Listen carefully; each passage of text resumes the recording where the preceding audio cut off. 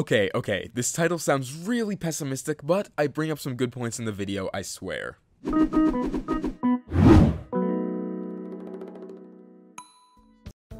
Hey guys, it's Protendo, and I'm still calming myself down from all the E3 hype that occurred last week.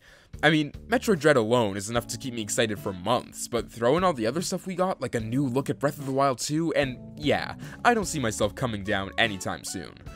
Honestly, I'm kind of surprised with how much I enjoyed Nintendo's E3 Direct considering how wrong I was while predicting it. My phenomenal Mario Party and Metroid Fall release date prediction aside, there were a lot of games that I expected to see that didn't make an appearance. Splatoon 3, a new Kirby, possibly something Donkey Kong related, and of course, the game that I thought was the easiest lock in terms of predictions, Animal Crossing New Horizons. The funniest thing about New Horizons' lack of appearance to me is that no one, absolutely no one saw it coming. I mean, it made perfect sense. It had been a couple months since the last update, E3 being right at the start of summer made it the perfect event to announce new seasonal content, and it's Animal Crossing New Horizons, the game that rose to be Nintendo's 10th best selling game ever in the span of a year. Why wouldn't they show off this highly profitable, highly popular title at what's essentially Gamer Christmas? Most of the discourse in the Animal Crossing community was about how much stuff the update would feature, Many claimed that it would be a big 2.0 blowout with characters and content galore, while pessimists like myself set our expectations low by anticipating a somewhat underwhelming update. The only thing that was capable of subverting the expectations of both of these groups was nothing. And that's exactly what we got. Nothing. Let me just say right now that the point of this video isn't to throw a fit because we didn't get an update when it wasn't promised, nor is it me saying something crazy like I'm not going to be making any more Animal Crossing content.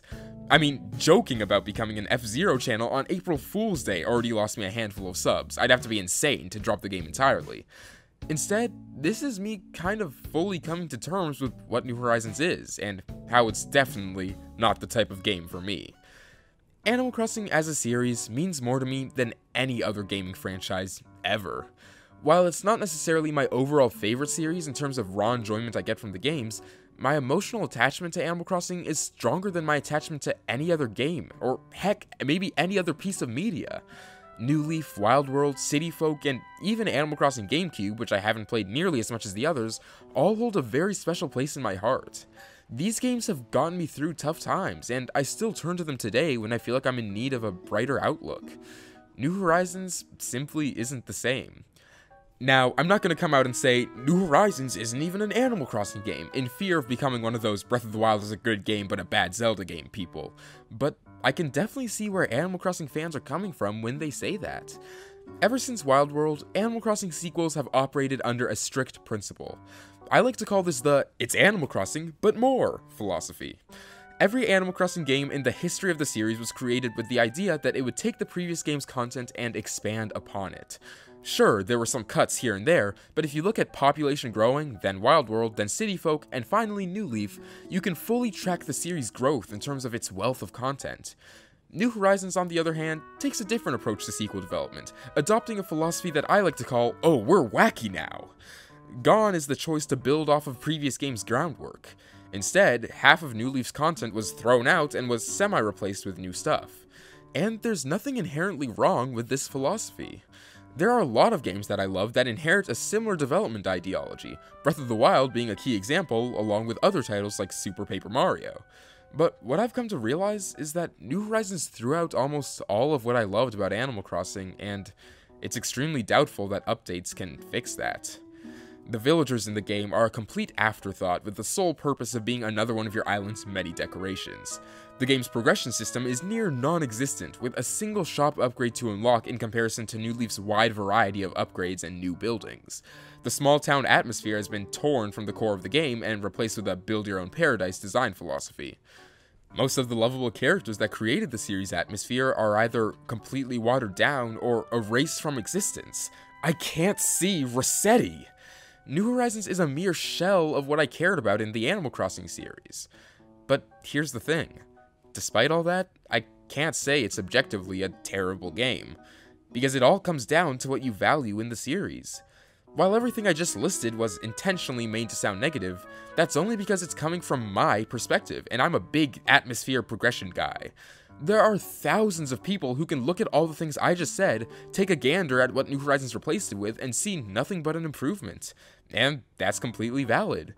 But so too are my thoughts and feelings on the game that I know tons of other fans echo. Animal Crossing means something to all of us, and we all have differing priorities in terms of what we think makes an Animal Crossing game. And honestly, I've come to a realization over these past few months. You guys better brace yourselves for this one, cause it's a doozy. I'm even gonna cut the music to make it sound more dramatic.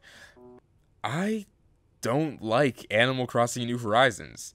I think it's an extremely mediocre experience.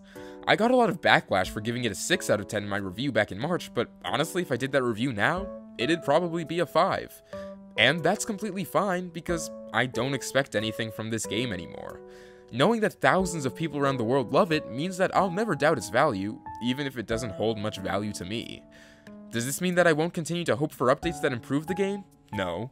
Doesn't mean that I'll stop making videos about New Horizons? Absolutely not. I literally have an extremely large video project about the game in the works right now. If you haven't noticed, my content doesn't exactly revolve around me adoring the game. I'd still love to be proven wrong and have this game reach its full potential. Who knows, maybe when everything's said and done, it'll miraculously become my favorite Animal Crossing title. But until then, eh, I won't be complaining too much. This is a different Animal Crossing for a very different type of player. I just hope that the next entry in the series does a better job of accommodating to all playstyles, like all of its predecessors did, instead of a specific one that kind of ignores a lot of the series' strengths and appeal and also cuts out a very large part of the fanbase.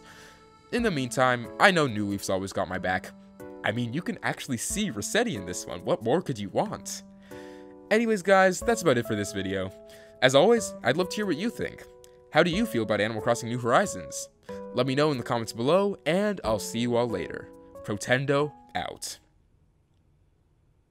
Please don't kill me for saying I don't like Animal Crossing New Horizons.